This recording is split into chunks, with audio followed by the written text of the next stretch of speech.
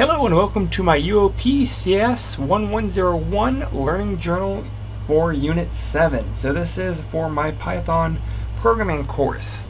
So in this learning journal, we're going to be taking a dictionary function. If you look at section 11.5 in the textbook, you should be able to pull the invert dictionary function out. The goal today is to create a Python dictionary that returns a list of values for each key. The key is going to be whatever type that you want it. So you're going to be declaring the keys. The goal here is to design the dictionary function so that it can be useful for something meaningful for you. Create at least three different items in it, and at the end we want to invert the dictionary itself. Don't copy the design uh, from another source. Try to come up with it by yourself. The goal here is to modify the function so that you can invert your dictionary.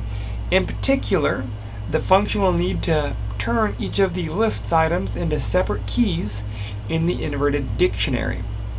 You'll run the modified invert, invert dictionary function on your dictionary and we will print the original dictionary and the inverted one. That's the goal.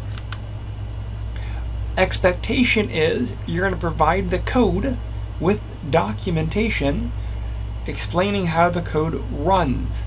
You're going to describe what's useful about your dictionary and you're going to describe whether the inverted dictionary is useful or meaningful and why.